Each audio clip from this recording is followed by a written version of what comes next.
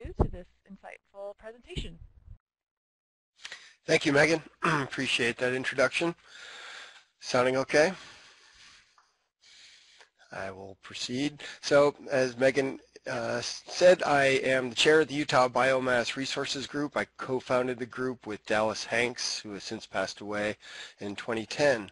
Um, these are our uh, partners uh, with uh, the Biomass Group, the uh, BLM, the Forest Service, the Utah Department of Ag and Food, and the Utah DNR, the Department of the Division of Forestry, Fire, and State Lands in particular, and Amaron Energy is a private company that we work with quite a bit.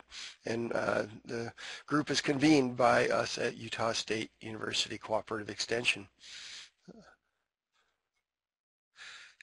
How we got into uh, biochar in the Uinta Basin, which is what this uh, presentation will be about. I'll give you just a minute or two of background here. As a biomass group, we focus quite a bit on the pinyon juniper resource in Utah. There's 10 million acres of it in Utah and 50 million acres uh, surround in the Intermountain West. Um, and it's an expanding resource. It's taken over a lot of sagebrush and grasslands.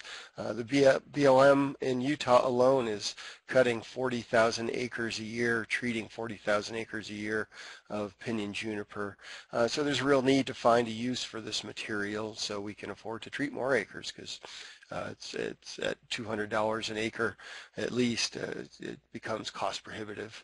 But uh, the slide on the right uh, is pinyon juniper biomass, chip pinyon juniper. The problem with it and all woody biomass is that it's mostly fluff. It's air and water and some carbon. And so you can't afford to haul it very far with today's uh, gas and diesel prices. So they are, one of our big focuses is to um, condense, to densify the the biomass before we take it out of the woods. And so one of our bigger projects is um, is a mobile pyrolysis machine. This is the machine owned by Amaron Energy. His, his, photo was taken about three weeks ago, maybe a month ago in Eureka, Nevada. They're working through this uh, mountain of pinyon juniper chips you see in the foreground on the right. And uh, in that trailer, uh, see, there's a, a, mobile pyrolysis machine that uh, the white bin feeds the, the pinyon juniper chips into the machine and uh, it pyrolyzes it or cooks it in the absence of oxygen uh, makes biochar and bio-oil. So we're focused quite a bit on what to do with this biochar and, and this bio-oil. We've been putting on uh, meetings and sort of dog and pony shows around the state and different places. One of our bigger focuses has been uh, in Vernal in the Uinta Basin with all the mining that goes on there. And um, this is a group of the folks that uh, on the site that we're talking about today that, that have been working towards this. Um, I'll tell a little story here about two folks that aren't in this photo. Um, at, at our, that original meeting in Vernal um, in 2013, um, one of our friends and uh, cooperators from Nevada, Dusty Moeller, a biocharist who's uh, tuned in with us today. Hello, Dusty. Um, was uh, gave a presentation about biochar and included some photos of typical reclamation practices from his point of view. Pretty quickly, uh, somebody from the audience, uh, Stephanie Tompkinson, who works for QEP Energy doing reclamation, um, went right up to Dusty and said, hey, that's not how it's done. Let's, uh, can I take you out and show you how it's done? And so um, they had that meeting, and one of the results is they looked at this site that uh, was a failed reclamation site. I've been trying for years to get stuff to grow on this, and only cheatgrass has grown on this site, and uh, so they agreed to turn it over to us to, to turn it into a biochar trial to see if we can do better. Um, and so over time and, and, at these meetings through Dusty and others, we got to meet Chris Peltz. Uh, here's Chris on the site who's leading the, the project and will uh, lead the rest of this uh, webcast. Um, we've been to the site several times. Chris can tell you way more about it than, than I can, so I'm just going to turn it over to Chris from here. And uh, thank you for that uh, minute or two of introduction.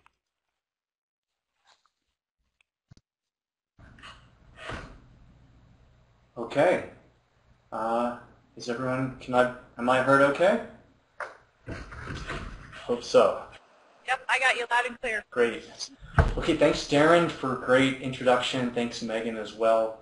Um, Uh, yeah, my name is Chris Peltz, and I've been working with Darren and the folks out at QEP for about a year now on this project. And uh, I, I also wanted to highlight, we have a, in addition to our co-authors here, Darren and Stephanie on this project, we also have another, a bunch of key collaborators that the project would not have been possible without. And uh, Dusty has been really key, Dusty Muller now at University of Washington.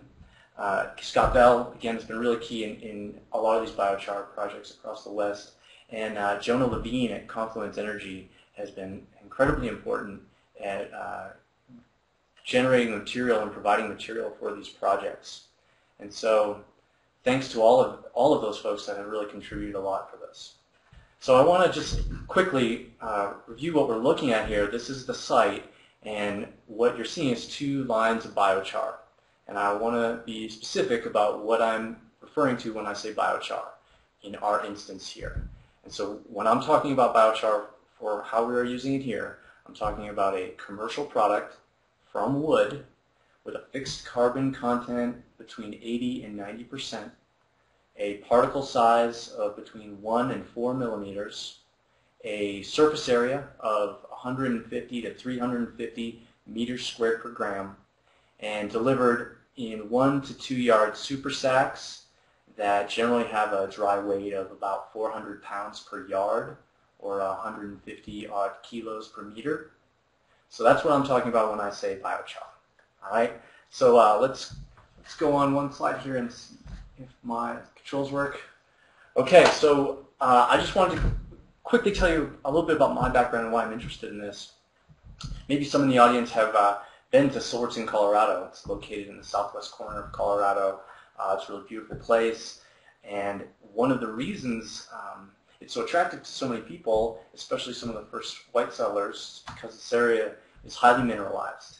And what you have, what we're seeing in this photo is some example of that uh, mineralization and subsequent exploitation of those minerals. And so what we have here is sort of a legacy of about 150 years of mining in this region where I live. And I think this is fairly typical of a high elevation uh, mine dump near a water source and in, in areas that are difficult to, to revegetate. And so for me, uh, this is a really interesting project in that it both has a lot of, uh, there's a lot of intellectual uh, interest for me, but as well it's, it's personal because this is where I live and, and this is my backyard. So finding new ways to uh, reclaim and reestablish restoration plants on these sites is really exciting. So let's go forward. But we're going to talk about uh, Vernal, Utah today, and Vernal, Utah uh, is sort of our touchstone. The project site is a little south of Vernal. Um, but this area is important for a lot of reasons, and it's really interesting in a lot of reasons in that it's located uh, south of the Wyoming Red Desert. It's located it's located east of uh, the Wasatch Front in the Uinta Mountains, right here. And it's located north of the Colorado Plateau and west of the southern Colorado Rockies in the Green River Basin. And the Green River Basin has a really interesting geologic and climatologic history that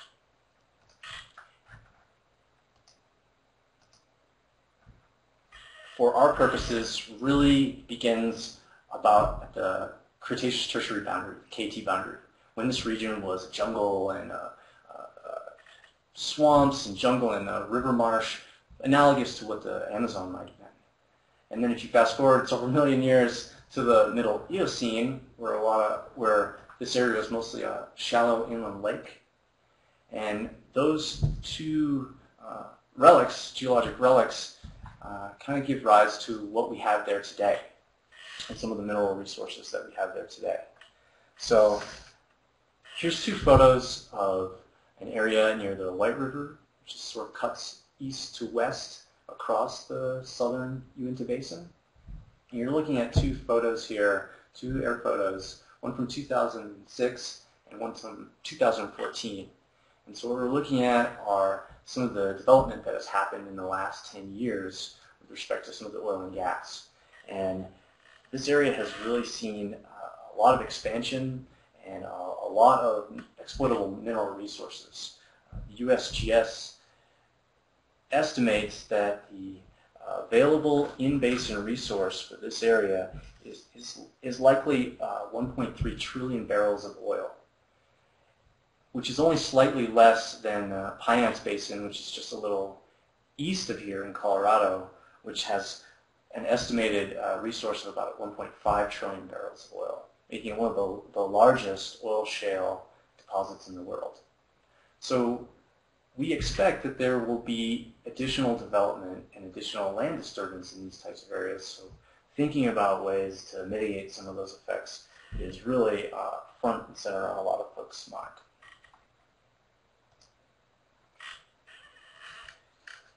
We came to this project partly because uh, folks had been doing uh, reclamation work across this area and noticing that for a lot of sites, what they were doing worked just fine.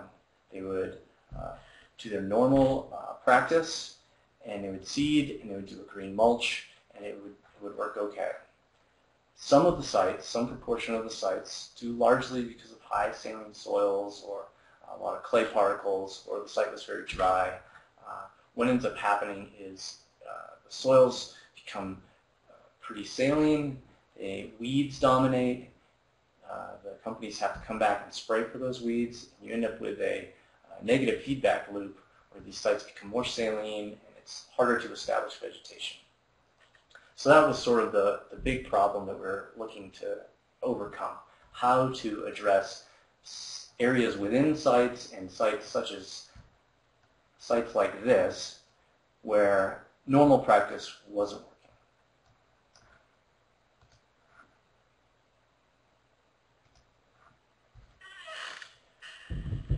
One of the ways we think we know how to do this is by adding fixed carbon. Current practice is a lot of adding these pieces to the soil. So adding decomposing organic matter, uh, your fresh residue would be your growth matter, and any of your microorganisms. So this is a key element of a healthy soil, which uh, mining affected soil and a low carbon soil it's not going to have a lot. The, the trick with adding only this stuff is that these are very labile and the effect of adding these pieces uh, is short-lived. So we think that adding biochar, which is really stabilized organic matter, will help sort of balance out the additions that we might make and, and hopefully get us closer to this type of soil when we're starting with something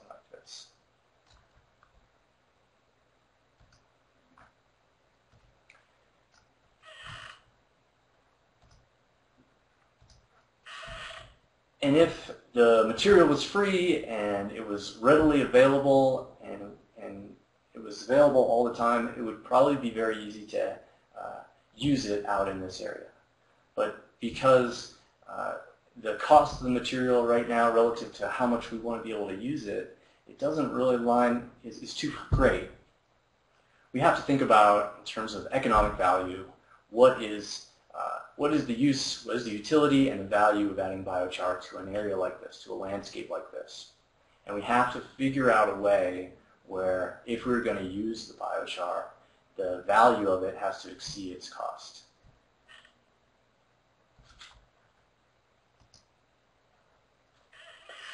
Part of our uh, method for understanding what the value might be was to work with our industry partners, and Stephanie Tompkins in, in particular, figure out what, what was the what were the kind of problems that we want to address and what were some of the concerns uh, an entity like this would have in using something new. And so we asked them, why were you even interested in the project? Um, and why do you want to do this site? And what did they see as both some of the potentials and some of the drawbacks of using this material? And so this all fed into our uh, model of understanding and helped us design a set of experiments that helped answer both these questions and that big question of what, what is the value.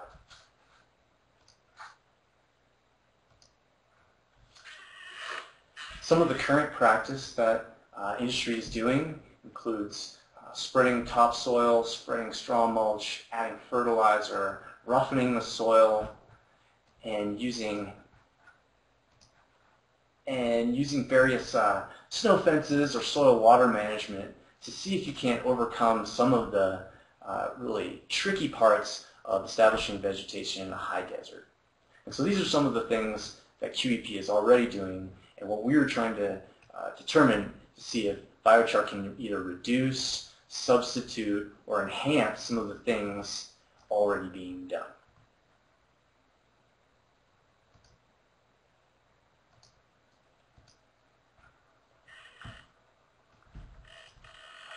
Along with uh, being very responsive to industry needs and, and, thinking about how this material might work within their existing practice, we also really wanted to make sure that we were working with our agency partners to determine and make sure that adding biochar material is synonymous and works in concert with their overall strategy for reclamation. And so I want to highlight two, two items here in, their, in the BLM's Gold Book. And these really jumped out for me was that uh, what they're trying to do is to set the course for eventual ecosystem restoration using natural processes. So as a great design parameter, if we want to use natural processes, it's going to limit some of the inputs we're going to do, uh, but it's just going to have to make us be a little more, uh, a little more creative on how we're going to use this material or how we're going to use it in concert with other things that are being done.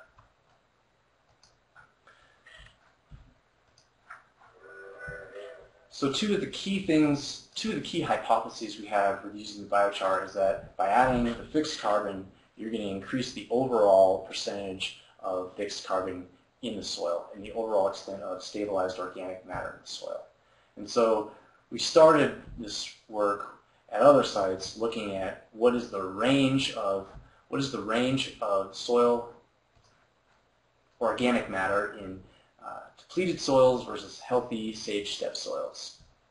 And we looked at different additions, sort of a unit volume per area, to see if we can't start to approximate the characteristics of a healthy soil by additional additions of biochar.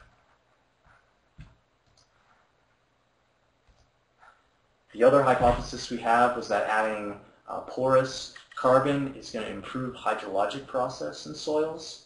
And so I would highlight just two things here where um, same soils, these are both soils from the vernal basin, and this is about a month into a growth trial. And I think what we see here highlighted in the green uh, uh, food dye is that the water is draining nicely in the biochar addition soil, whereas these soils with uh, very low carbon content, we end up with uh, sort of a clay lens and not much uh, infiltration. And so we have less effective rainfall and, and, and probably more erosion or more potential for erosion. The other thing I would highlight here is that you can see uh, the fine roots through the unamended soil.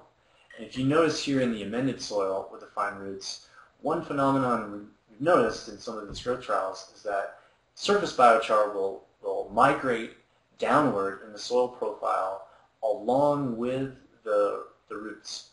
So we get an interesting feedback where as the roots penetrate further into the soil, the biochar is also penetrating further into the soil. And, and, and so that, that seemed like a, a positive uh, impact and something that would be also uh, synonymous with this natural process.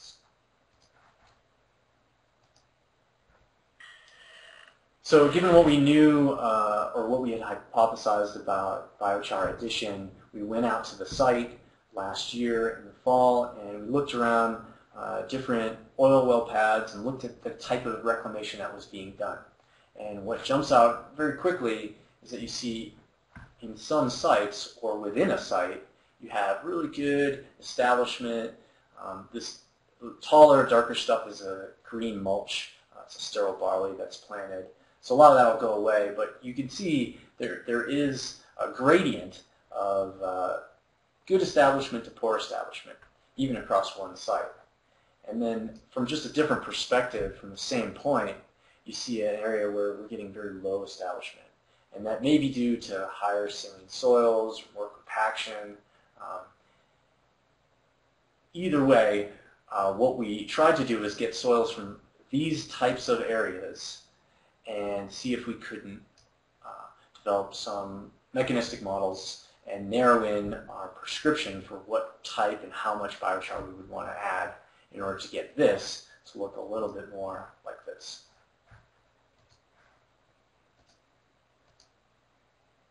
So with those soils, and over the winter, conducted a series of greenhouse trials. We controlled for everything except the soil amendment. what you're looking at up here is a, a typical uh, for the region soil amendment uh, with a fertilizer, a nitrogen, phosphorus, potassium fertilizer, gypsum, a gypsum plus fertilizer, a biochar plus fertilizer, a biochar, and a biochar plus gypsum. And so this was about after a month. We took these growth results, cut all this vegetation down, dried it, and measured the above ground biomass, and used this as, as and used and used this as our scoping to come up with our field field prescriptions. Um, I would highlight here this was what uh, current practice is. This is adding gypsum and fertilizer and some straw. Uh, this highest one was adding the current practice plus about a 30 yard per acre volume of biochar. And this one at the other end was adding a very low rate of only biochar. So we used so we used this graph to come up with our field prescriptions.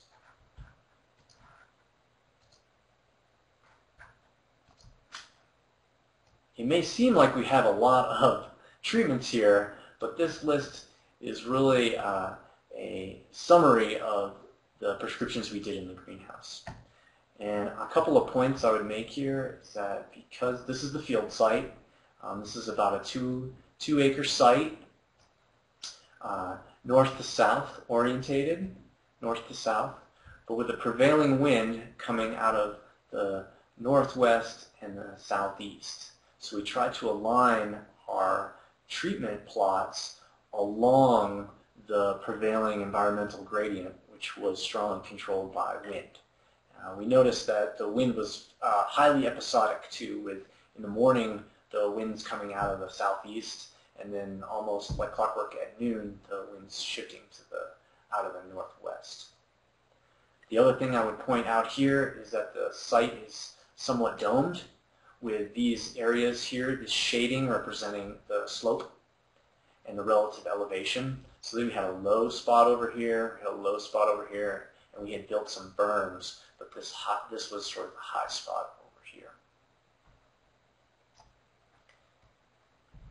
These yellow dots, these are the straw bales that we put out. These blue dots are the soil chemistry probes we put out and then the treatments are listed. And I can have, we can ask more questions about that at the end. So when we found the site, when we arrived, the site had been uh, treated with herbicide and disked such that there was essentially no surface vegetation on the site. Um, there was patches of grass here and there, some patches of cheatgrass, uh, but more or less the site was devoid of vegetation. So one of the first things we did on uh, some of our treatments, some of our straw treatments, was to spread straw at the rate that is currently used by QEP and to run our equipment over it and run the disc, a, uh, a light disc over this to work the straw into the soil profile into the first couple inches and, uh, to represent and replicate uh, existing practice.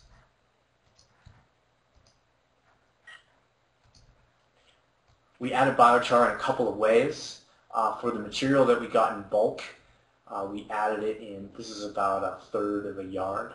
We added it in front end loaders.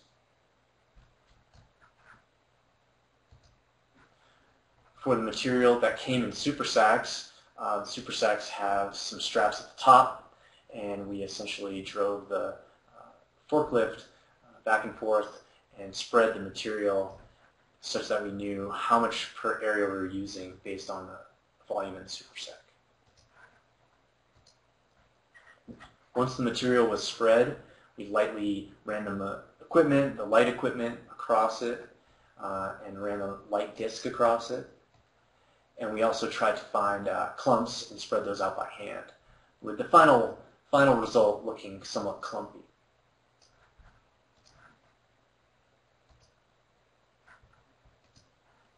Two of our other experiments at the site, um, we created a, a series of berms along the northeast edge uh, with the berms uh, seeking to replicate soil storage areas. Uh, a lot of these sites, when they're cleared initially, they try to stockpile the surface soil. And one of our working hypotheses is that uh, by adding the char during soil storage, uh, you might improve the condition of the soil uh, during its storage, or it would be less impacted by be being stored in a berm for a couple of years. We also added compost manure to some of the char. Uh, the compost manure was uh, graciously donated by South Slope Reclamation, and um, had been we've been working with them as well to think about how to and what might be the best way to combine fixed carbon with different forms of compost. So we think this is has some promise to it. Uh, it's still sort of in the preliminary stages. I mentioned the straw bales, and you'll see we have a series of straw bales here, and they're arranged in uh, various spatial densities. The idea with the straw bale was that if we had create, if we could create uh, a deeper boundary layer at the surface of the site, it will roughen the surface area and hopefully create more deposition, deposition of snow behind and in front of the straw bales as the prevailing wind sort of comes out this way in the winter. Um, we also thought uh, having straw bales would in some fashion replicate the topography of a well-developed stage, sage steppe. So we were trying to recreate as much topographically as we could with the adjacent uh, sagebrush. You'll also see here a series of flags and a pole. And so this is one of our sensor nests where we have uh, continuous measurements of soil moisture in five different spots. We have soil temperature and above ground temperature. We also planted uh, sagebrush. We replanted sagebrush from here at four spots around each of them next to the, um, the soil moisture meters.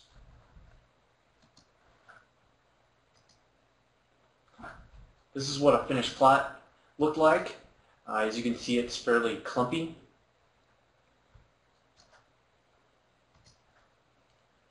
This is an area near the berms.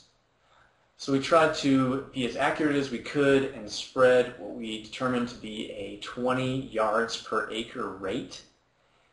And in this area, we uh, had the folks from Ponderosa who did all of our heavy equipment work for us out there uh, compact different strips of this. So this would be the most compact. Over here would be next most compact, and the furthest one on from us would be the least compact. With the idea being, well, if we, uh, if we could add the char just while we're running our equipment around there, maybe that would be the easiest. And is, is there a way to determine the, uh, the improvement of soil tilth and uh, lessening the impacts of soil compaction by adding just the char on the surface. We also have a series of uh, sagebrush controls. So our sagebrush controls are both on the east, south, and west side of the plots. And we're using these uh, both as vegetation controls and soil chemistry, per, uh, soil chemistry controls. So at all, at all of those points I pointed out with the blue, we put a, at least a pair of these uh, plant root simulator probes. These are essentially resin strips that measure the supply rate of nutrients to a hypothetical plant.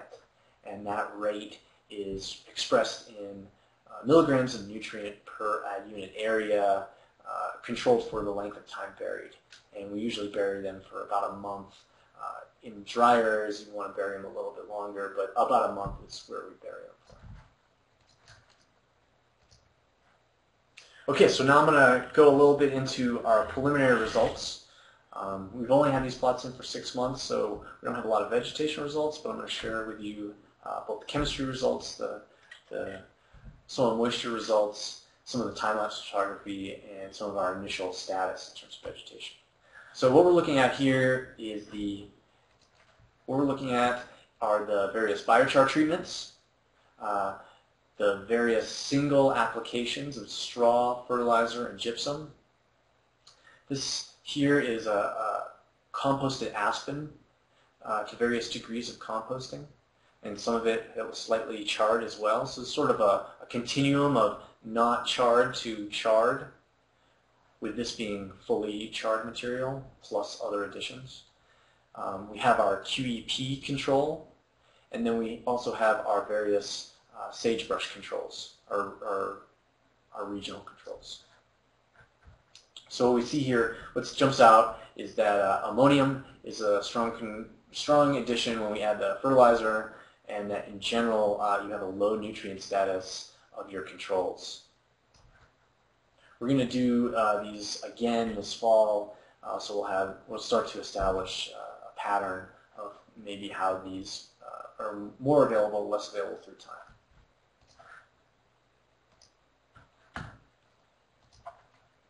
So this is a graph of calcium, magnesium, potassium, and phosphorus and sulfur. And I would also point out here, just look at the ratios of calcium uh, to potassium in particular. Uh, very different with our biochar trials, biochar treatments as opposed to the controls. Um, looks like the, the uh, aspen compost and uh, sort of business as usual seems more synonymous with uh, less potassium. Uh, phosphorus and sulfur, also the ratios are a little different here with the controls relative to uh, both the QEP control and some of the additions. Uh, the big difference being that uh, adding the gypsum gives us a little more sulfur in the soil, which for these calcareous soils, um, which are also quite alkaline, uh, adding a little bit of gypsum to lower the pH uh, probably increases some of the cation exchange capacity, making some of their nutrients more plant available. Big thanks to Dennis Hinkamp and Utah State University Extension. They came out in November and flew an unmanned aerial vehicle and took a really cool video and photos of the whole site. I would recommend uh, taking a look at the video. Uh, there's a YouTube video of it, and you can just go and, and take a look at it. It will give you a sense of the scale of the plots and how they are scaled relative to each of the treatments. Um, uh, you would notice here we kind of have the plots along the, uh, the wind gradient. Here's where our uh, straw bale snow fences are set up adjacent to no snow fences. And we sort of high and low treatments and treatments with and without straw all along the gradient. Here's looking at the other side of that plot, or other side of our, our field plot where you can see the berms where we have just biochar, biochar and straw, and nothing, uh, and in two, at two rates, uh, low and high. And then we also have our area of compaction with the biochar and then just with straw or no, no uh, additions. We also put a bunch of game cams, uh, time-lapse game cams, so we could look at uh, both the data throughout the winter and as well as try to see if some of the snow dynamics were working out relative to the, the snow fences. And one thing that we noticed right away is that a lot of the storms came out of the southeast this winter, which was a little different than we had expected. But the other thing that jumped out, was, especially at these early storms, was that uh, we were seeing, if you go from the upper left here, it's uh, early in December, uh, when it's sunny out there, the ground heats up pretty quickly, and, and likely you're seeing uh, snow sublimating, going from solid to gas right away. But maybe by adding this shade, shade shading, that we're cooling the soil enough that we might get some infiltration. So we're seeing this through time where snow is persisting on some surface with, uh, uh, associated with the straw bales. This is a little later in the spring, one of the bigger storms. As you can see, uh, in March we can get pretty even we can start to get pretty warm. as evidenced by how sort of like around uh, on the south part and to the east part of those straw bales, the ground clears up pretty quickly. But with the shading and we think with some of the cooling of the ground, we're still seeing snow remain associated with the straw bales. This is one of the last storms we had in the spring, and this is from uh, perspective of the south, uh, looking from the south toward the north. I would point out that uh, during the day of the storm, it, it was pretty warm out. Um, and then overnight it gets very cold. We get a bunch of snowdrops. Uh, the next day, the ground's still pretty warm in a lot of spots. And within one day, uh, all that snow uh, is, can be gone. And, and this was even with a sort of overcast day. A sunny day, this happens pretty quickly. So still an ongoing question. Uh, we have some interesting preliminary data, uh, but this is sort of our, our question uh, we're seeking to answer with these straw bales is does this increase the amount of water that will be available for plants? Can we roughen the surface up enough so we can capture some of this snow instead of it having evaporate, can it uh, make its way into the soil profile and be plant available? So that was some of the qualitative data. Uh, we're going to go through some of the, the, continuous soil moisture data. So this is the Decagon uh, EM50 probe. These are somewhat new, and they're a time domain reflectometry probe. And what we have is one associated with each one of these flags, and they're labeled as such. So open south, open north, upwind, downwind, downwind 6 feet.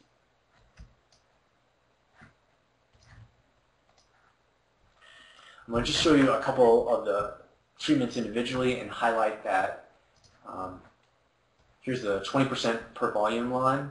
And so things bounced around at the beginning a little bit, but then we started to see a pattern uh, emerge where we had melt events, rainfall events, and we basically, with the straw and the gypsum, saw a fairly similar pattern um, with uh, things bouncing around below the 20% per volume. So this was our biochar plus gypsum plot. Uh, here's the 20% line. Again, uh, things bounce around a bunch, and so this is still, you can see at the beginning here, probably uh, with freeze and thaw and, and the soil settling around the sensors, we're getting a lot of variation. But after the winter, uh, things start to happen in a pattern. And so I'm showing you averages here and I want to just go back once to point out that uh, this was excluded, this orange line was excluded from the averages I'm going to show you next, only because it was so uh, out of the uh, range. We want to be conservative with our soil moisture estimates. So we excluded this for the next graph that I'm going to show you.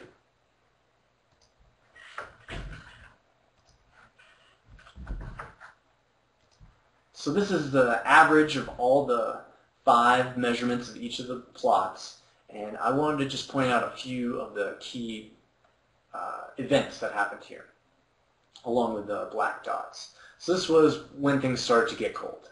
This is when we put them in, uh, things bounced around a bunch, and then things started to get cold right around the end of November. And we think this was probably uh, when most of the soil was frozen or very cold. Uh, this was that snowfall event that early snowfall event happened right around here, and then it got warm, and we have a big melt. This was another snowfall event right here, and a melt. This was a smaller snowfall event, and then these were uh, rain events. The thing I would highlight, especially here, is that notice the shape of the curve here where we have a melt event, we have an increase in soil moisture, but then we have a rapid decline back to uh, pseudostasis. The difference with the biochar plots, it appears, is that the rate of decline is less uh, in the biochar treatments. Not only that, we're seeing uh, a magnitude increase in soil moisture that's greater than it would be without the biochar treatments. So this is interesting in the sense that maybe in, in concert with uh, adding more snow or capturing more snow on the surface, you're creating more space within the soil, soil profile to make use of and capture some of that uh, residual soil moisture that's not being evaporated.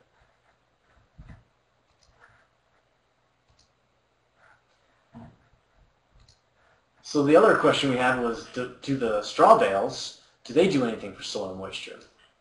And we had a very interesting uh, event happen, a very interesting experience uh, in the spring here. So you can see from uh, April 14th at 3 to April 14th at 4, we had some straw bales that were here and next to our sensor nest. And then the, the next day, or the next hour, they were gone, or they had moved. And so interestingly, we had a, a sensor nest with a straw bale, and then we didn't. And so one of our questions was, does the straw bale affect soil moisture? And so I would point uh, out to the graph here where this top line was where the straw bale had not been removed. And the bottom line was in uh, the sensor nest where the straw bale had been removed. And this is about when it had been removed. So interestingly, we see the magnitudes sort of get depressed a little bit when the straw bale is gone over all, all the sensors, but likely the ones that are closest to it.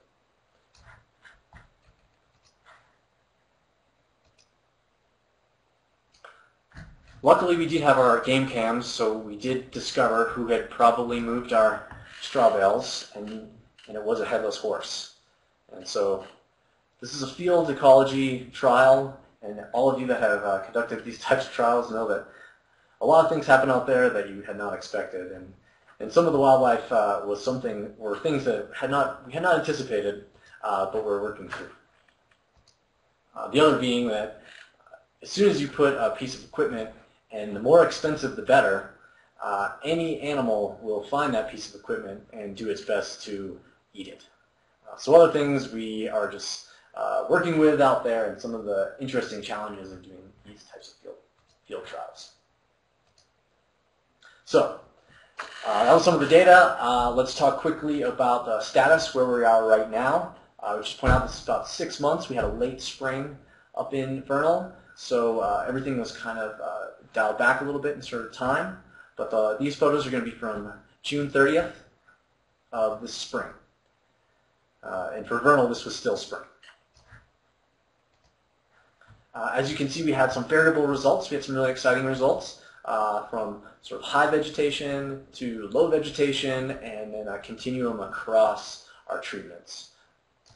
Still early, so we haven't done uh, community analysis yet, and we're still uh, we haven't done a full vegetation workup yet, as we're waiting until some of the more of the species that come up can be differentiated, and we can kind of see what is both the community and what's the cover after a full year of growth.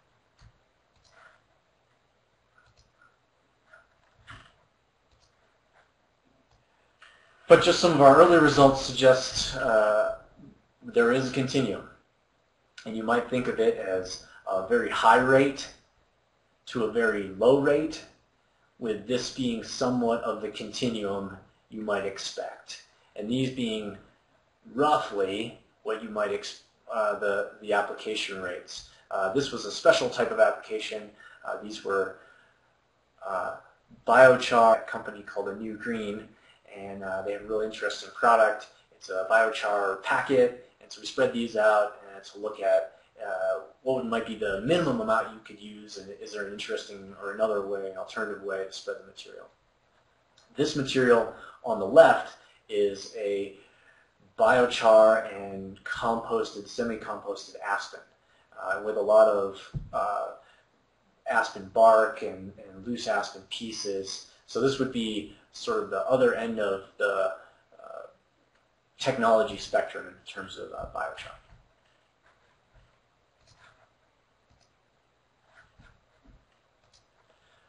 Across the sites, this might be a continuum of high to low. And this is kind of what we saw in a lot of places where we had patchy uh, vegetation establishment and, uh, and, and, often in depressions. Uh, what was interesting, especially about these types of sites, is that there was quite a bit of char within the soil, uh, and you would notice that as soon as you walked across it or kicked at the surface a little bit. But there was not much char uh, on the surface, or less visible on the surface. and it seemed that that sort of surface char was uh, associated also with vegetation.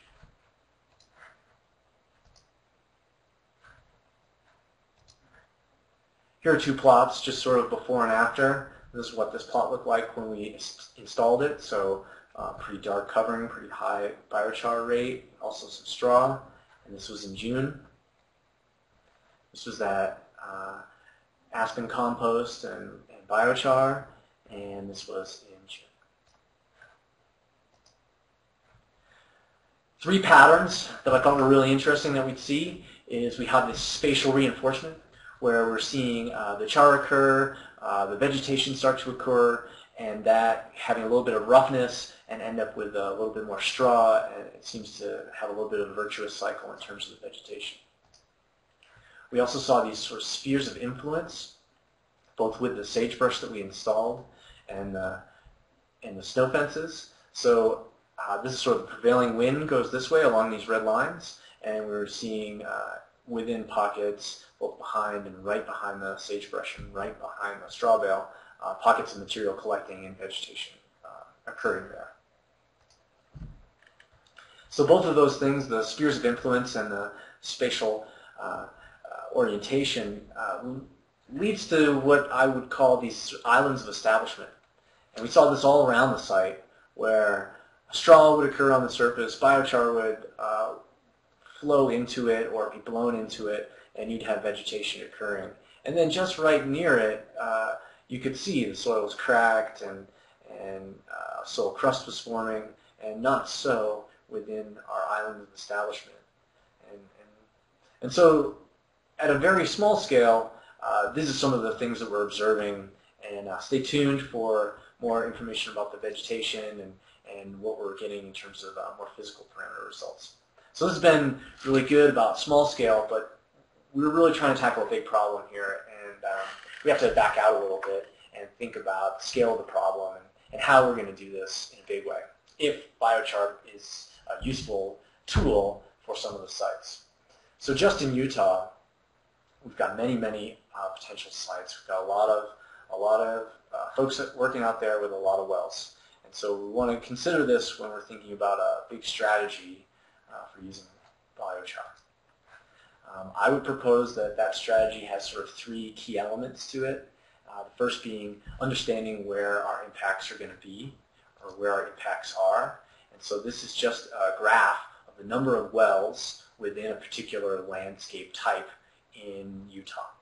And so if we know how biochar might work or what its value in this Intermountain Basin mixed salt desert scrub, uh, our model will allow us to affect a lot more sites. Um, so I would propose that we understand how uh, adding biochar in these sites, this would be a priority. So we could have uh, predictive models on how it would work across a lot of sites. Uh, the other thing that's really important is to still consider geography as the sort of our guide. And what I've kind of outlined here are sort of three regions uh, where oil and gas development is occurring and consider these regions uh, in terms of if you were going to use biochar, where would you make it, how would you ship it there, uh, how would you work it as an entire system. So the geography is really important. And uh, lastly, uh, we're foresters, so we want to overlay and understand our forest resource and how we can best match up our forest resource with the need so we can reduce our, our costs potentially. So we're making the biochar as close to the point of use as possible. And lastly, that transportation piece is really important. Um, I would point out that this is uh, how we're getting material today. We're getting it in super sacks, and we're getting it in uh, walking floor trailers. This trailer is about 130 yards, and, and everything in between.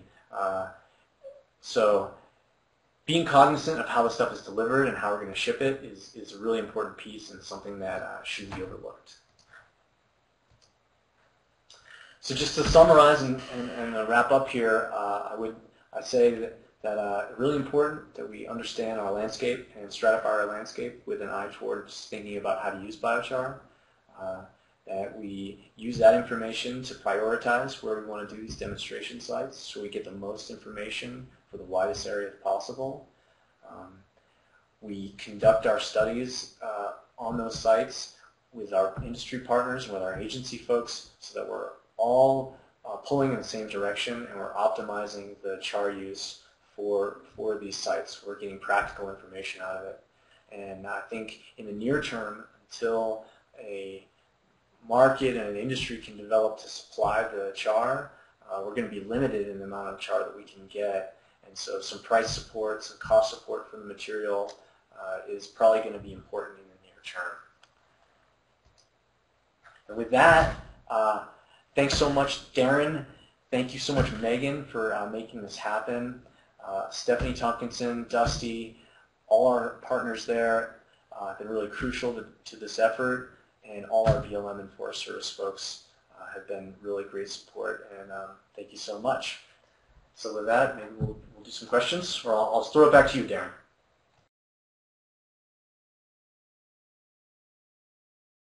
Thanks, Chris. Good job. Um, you, Chris, I'll encourage you to read through the chat pod and the questions that were asked, in particular questions about char and where we got it and how much it costs.